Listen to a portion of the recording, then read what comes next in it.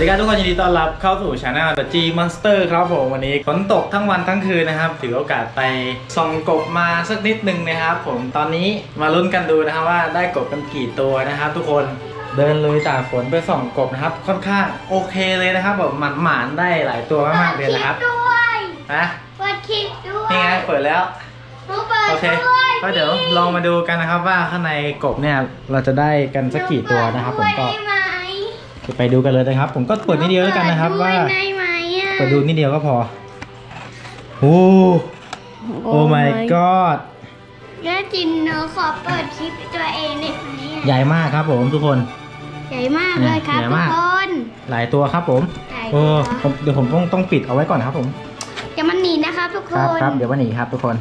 ผมมาหานอกวันนี้ใช่แล้วครับเดี๋ยวพรุ่งนี้เราจะกินกบกัน ไว้กินเป็นไหมไว้ฮะขี้เกียจถ้าใครชื่นชอบก็ฝากกดไลค์กดแชร์ไว้ให้ด้วยนะครับ ผมก็ใช้ชีวิตแบบบ้านๆนะครับ ผมพอมีพอกินนะครับ ไม่มีข้าวกินไม่มีอาหารกินก็ออกไปส่องกบนะครับก็ตายใช่ไหมใช่เอาทุกคนไม่มีอาหารกินเราก็ออกไปส่องกบไงใช่แล้วคเอรับอมีแต่ข้าวใช่ไหมโอเค เดี๋ยวไปลองดูกันนะครับว่าจะมีกี่ตัวนะครับ ก็จะพรุ่งนี้จะเอาไปทำอาหารอะไรก็รอติดตามครับผม โอเคครับตอนนี้ผมก็ได้ชำแหละกบเสร็จเป็นที่เรียบร้อยแล้วนะครับผมก็มาดูผลงานครับ ตอนนี้ไปส่องกบนะครับได้ทั้งหมด 6 ตัวนะครับผมจริงๆได้ 7 ตัวนะครับ แต่ปล่อยไป 1 ตัวนะครับผมก็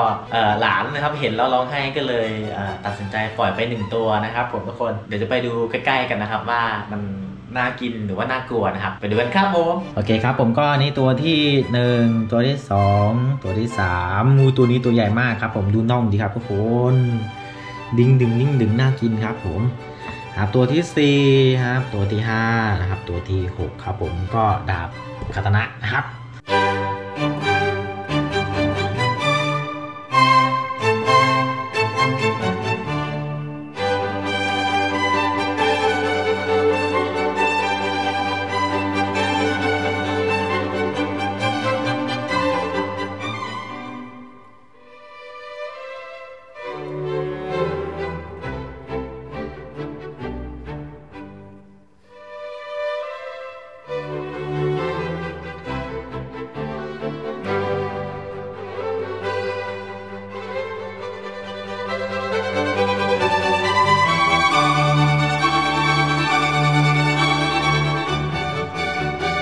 เอครับ ก็ชำแหละเอาหนัง เอา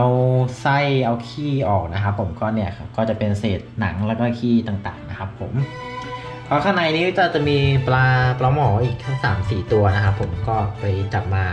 มีปลามันขึ้นจากสระนะครับจับมาด้วยนะครับ ผม เอาไปทำเมนูอะไรกันดีนะครับ ผมก็ทุกคนคอมเมนต์มาบอกทีนะครับผมก็หลักๆก็จะเอาไป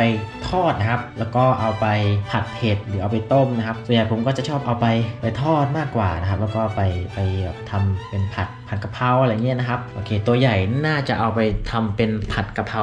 มากกว่านะครับ ทุกคนโอเคครับวันนี้ก็ฝนตกทั้งวันเลยนะครับ ผมถือว่ามีโอกาสครับทำให้เราได้ไป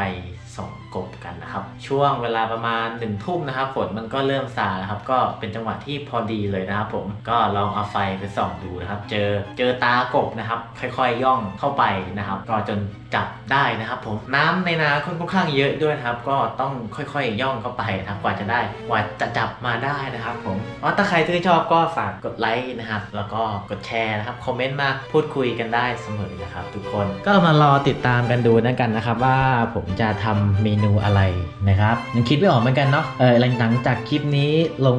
อัปโหลดใน YouTube ไปก็ลองคอมเมนต์มาดูนะครับ ว่าผมจะทำเป็นเมนูอะไรดีนะครับ โอเคสำหรับวันนี้ก็มีแค่นี้แล้วกันนะครับ ผมก็ให้ถ่ายบรรยากาศตอนที่หลังจากไปหากบมานะครับ ก็เป็นวิถีชีวิตชาวบ้านนะครับ ผมเป็นการดำรงชีวิตแบบแบบชาวบ้านนะครับ แบบ